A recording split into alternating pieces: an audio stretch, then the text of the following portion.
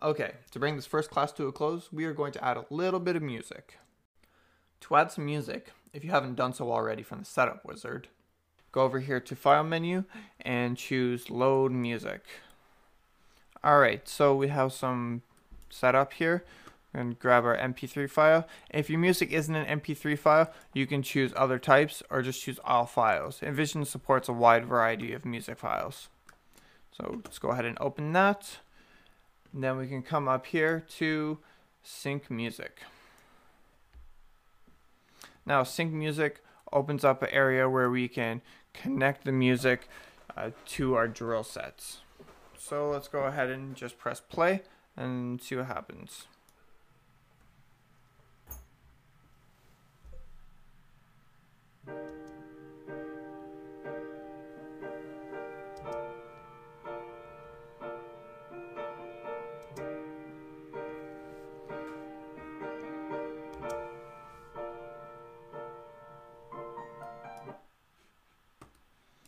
Okay, so I was just pressing spacebar as I went along there. Now you notice that it has the set numbers here, so one, two, three, four, and it has the counts that are in those sets. So you'll see that I made a little mistake here. The first set is actually 16 counts, but I saved it as 8 counts, or as the length of 8 counts. So very easily, we can go back to here, and then if you press play and it crosses a set that already exists, it'll just remove that set. So let's press play and it's gone. So that's 16 counts, but now we only have three sets. So what are we going to do about that? Uh, we can add another one. So you can just come back to here, press play, and we can continue on.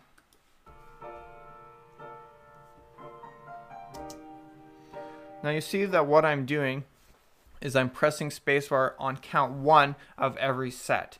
Again, if you make any mistakes, you can always go back and fix those errors. There's also ways to change the sets individually in the timeline once you have finished setting the sets to the music here.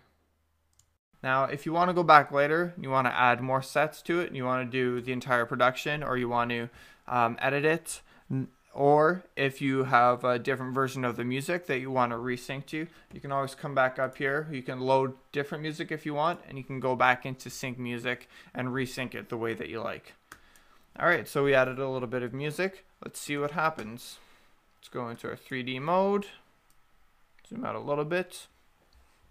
Now, one thing that I have to mention that has to do with playback. You'll see that we have these two little arrows here. We have the green arrow and the red arrow. Now, these are the playback range. So if I played it back right now, it's going to play back from set 3 to set 4. So let's just try that. Press play. You can also press play just by pressing the spacebar. And you can also stop it by pressing the spacebar again. Okay, so let's move the screen to the beginning and let's see if we can watch our entire production. Change our angle a little bit and here we go.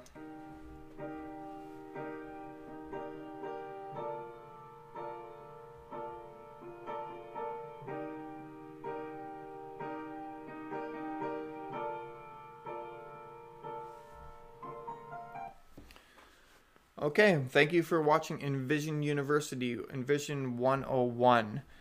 Um, hope you learned something. There's going to be more Envision University tutorials to come. Thanks for watching.